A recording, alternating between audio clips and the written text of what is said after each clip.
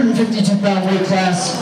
Please welcome first standing out of the blue corner, wearing black, trimmed with white. He's from Columbus, Ohio. Please welcome Joaquin Labron.